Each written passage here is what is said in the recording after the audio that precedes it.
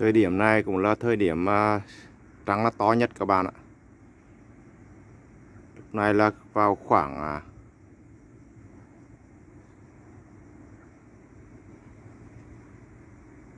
một giờ ba mươi một phút ba mươi hai phút. Mà nghe nói khoảng một giờ ba mươi một phút ba mươi tám phút là là siêu trắng sẽ dẫn đến cái hiện tượng là siêu trắng các bạn. All right.